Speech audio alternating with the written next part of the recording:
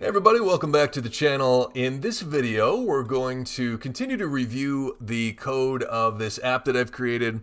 Uh, it's not necessary to have seen past videos. We're, we're just kind of taking a tour of the functionality of this app, which is an app that is designed to demonstrate how to log in and sign up with various different third-party providers as well as email and phone, etc. Uh, the GitHub repo is here. If you uh, put the link down below, if you want to go get it and actually have the code yourself. If you want to run it, there are some setup requirements here. You'll need to basically add a Firebase project to it and drop in the, the Google Services JSON and, and the Google Service Info plist. Um, those instructions are here. I'll also put a link to a video up above uh, where we wired those up in a past video. And in, in this video, I want to just draw some more attention onto this authentication process and look specifically at the Firebase auth functions that make authentication possible. So authentication is just verifying that that user is who they say they are. Um, and that may be done through Facebook or Twitter or Microsoft or any of these third-party providers you may wire into your app. They know their user database, they, they know your password, they take care of all of that for you. Works a little bit differently with something like email or phone authentication because Firebase is actually storing that information for you and they're taking on that role of verifying that the password and the email that you submit match a password and email combination that somebody submitted in the past and making the link that you are that person. That's the, the authentication that is going on. And from a code perspective, after we get past our form validation, there there is some massaging and business logic that may take place uh, depending on the path that you're going down. So if it's Google, um, there may be a little bit more work uh, to to do before you pass off to to Firebase. Same with Facebook or a user email password type of combination but once you get down to actually interacting with Firebase Auth, uh, the functions that you need to do that are actually pretty min minimal, and that's what I want to review today. So this may be review or just uh, you know something that's just not useful to to some of you, and that's fine. Feel free to skip this video. Uh, but I do want to highlight a, a a service for Firebase Auth, and so this application has quite a bit of logic here in the auth bloc for, okay, so verifying email and signing in with email somewhere in here. Yeah, sign up with email. So it's got a function here for that. But once it gets ready to actually talk with Firebase Auth, it is going to call a service. So in my services folder, I have an auth service class, and this has all of my interactions with Firebase Auth except phone authentication. I did end up putting that in the bloc or the view model. Uh, it was a weird little animal and it just didn't fit well into this service. So it's it's not ideal architecturally, but it worked better that way. But what we have left here is just 24 lines of code that can handle everything else besides phone authentication. Uh, and that includes logging in through Google, Facebook, Apple, email, uh, not phone, uh, and then some of the, the support actions such as verifying email. So let's just look at this real quick.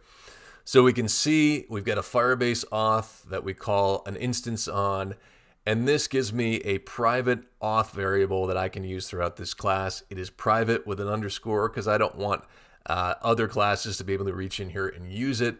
I want any interaction with that auth to be inside of this, this service. Blocs can call the sign up email and we'll handle it from there with our, our private variable. So we have this uh, auth.currentUser, which is great. It is not a stream. It's not a future.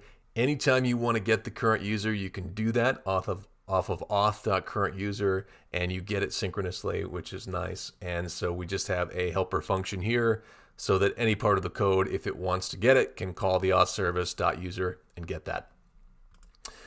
We do have a stream for current user, which is our auth.auth state changes. So this is a stream that has a user object, and this is super handy for things like the login or the sign up page when the login and sign up is happening. And if it's successful, you can have a listener on this stream, and as soon as it sees a user object in that stream, it can send it onto the home page You can have a similar listener on your home page that's listening for when this stream is null, and then it will send them back to the login page. So that's nice to have. For signing in or signing up with email, we have two functions here that call auth.createUser with email and password and auth.signin with email and password. And both of those take an email and a password as their, their inputs. So this is this business of Firebase actually having to maintain that information for you. And so you need to let it know what password and email they submitted so they can match it against their database uh, and let you know if that was successful or not. So we do need two functions there. And then there's this this huge heavy lifting function, which is sign in with credential. So we can see it's just the auth instance dot sign in with credential, and then we pass it that credential.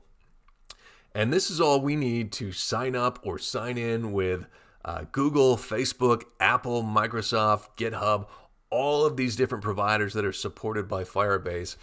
There's going to be some work in our view model and our bloc where we we have to do some custom language for Facebook or Google to get it into this auth credential object. But once we do, all we have to do is pass this generic user credential. It's going to sign the user in or not sign the user in, depending on you know the response from uh, Firebase, and we go from there. So that is a function that does a huge amount of heavy lifting. And I think in the next video, we're going to do Apple sign in and we're going to actually utilize this code uh, to complete Apple sign in. Then some nice helper functions. Of course, you need a way to sign out, and all you have to do is call auth.signout. Very easy. Verifying email, also easy. We do auth.currentuser.send email verification. That's it. It will send an email on your behalf. You can customize that here in the templates if you wish. So we've got email address verification, uh, password reset, etc. There is a template that gives you some control over what that looks like. Send reset password. Again, we just call auth.send reset email, password reset email, and we pass in the email, which we can get off of our current user.email property. So, like I said, that may be basic for many of you, but before we dive into the auth bloc and start looking at some of the business logic to do the signing in uh, through various platforms, I did want to just highlight the code that is doing the heavy lifting here in the back end through the, the auth service. So I'll wrap this video up here and hopefully we will see you in a future video.